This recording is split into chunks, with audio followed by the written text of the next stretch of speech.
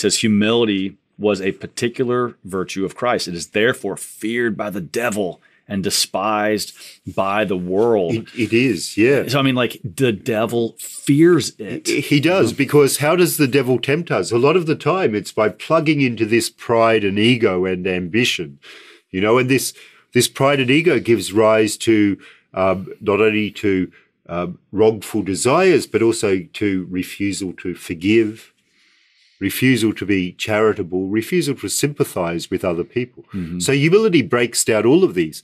And the truly humble person um, can't be overcome by the devil because the devil has nothing to offer them, mm. which could possibly distract them from virtue. Yeah.